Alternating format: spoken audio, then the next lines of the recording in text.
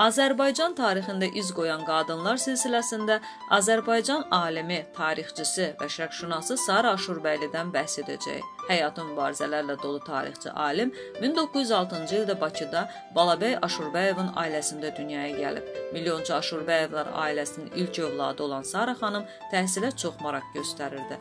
İstanbulda Janna Dark adına fransız kolleci, Azərbaycanda Bakı Dövlət Universitetinin Şərqşünaslıq fakültəsini bitirən Sara xanım Şərq və Azərbaycan tarixi üzrə ixtisaslaşır. O, həmçinin ingilis, fransız, alman, ərəb, fars dillərini mükəmməl bilirdi. Eyni zamanda rəssam və musiqiçi idi. Ailə mənsubiyyətinə görə ağır siyasi təqiblərə məruz qalan fədakar xanım dram teatrında rəssam və dekorator, məktəbdə müəllim işləmişdi. Müəllimi Üzeyir Hacıbəylinin dəvəti ilə 15 il konservatoriyada xarici dildən dərs deyərək öz çəkdiyi rəsm əsərlərini sataraq dolanıb. Casusluqda ittiham və təqib olunması illərində onun xarici dillərə yiyələnməsi və rəssamlıq təhsili ağır yaşam illərinə tab gətirməkdə böyük yardımçı olub. Sara xanım Bakının tarixinə əks etdirən çox qiymətli tədqiqatların, tarix, mədəniyyət, incəsənətə dair əhəmiyyətli məqalələrin müəllifi olub.